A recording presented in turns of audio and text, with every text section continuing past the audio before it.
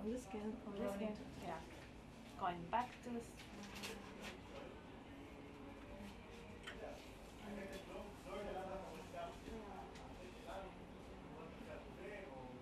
the fibroblasts from the skin, we generate uh, stem cells, and then we differentiate into beating cells.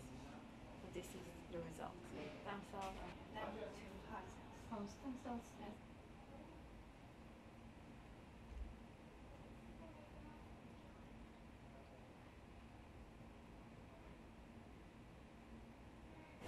The heart cells that were uh, generated were young and healthy and resembled the heart cell of that specific patient at the day that he was born. In contrast to the heart of, that, of the heart failure patients, which was extremely dysfunctional and all cells uh, were very, very dysfunctional. the array. It has a 256 electrodes, which allows the. patients. So they have.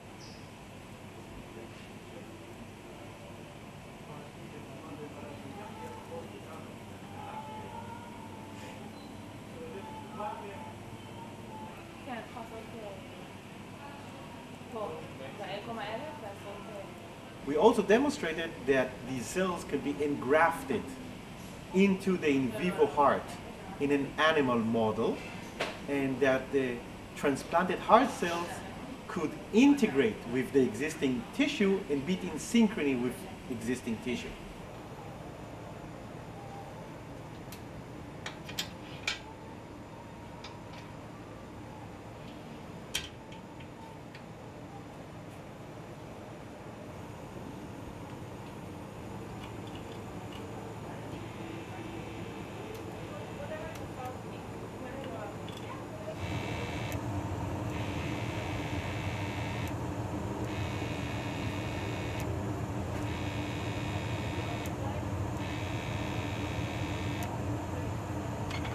Despite the significant improvements that were uh, done in the last decade or two decades in cardiology that involves medical treatment, surgery, coronary interventions, the still the numbers of patients that have heart failure is continuing to grow.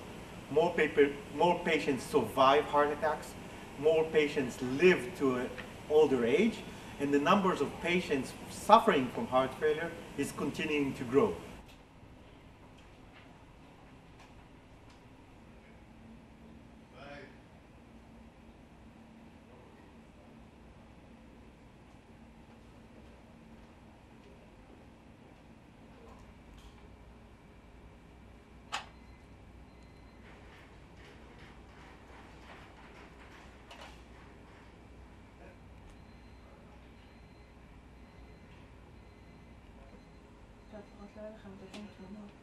Bypass surgery does not regenerate a dead area in the heart. It can improve the vascularization, improve the functions of, of suffering cells, but it cannot um, replace cells that die that were replaced by a scar.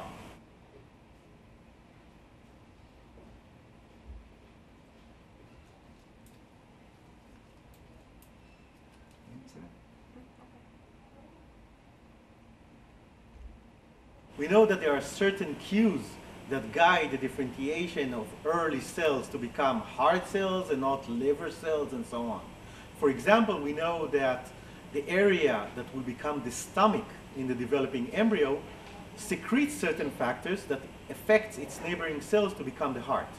That's why people say that the ways to the man's heart is through his stomach.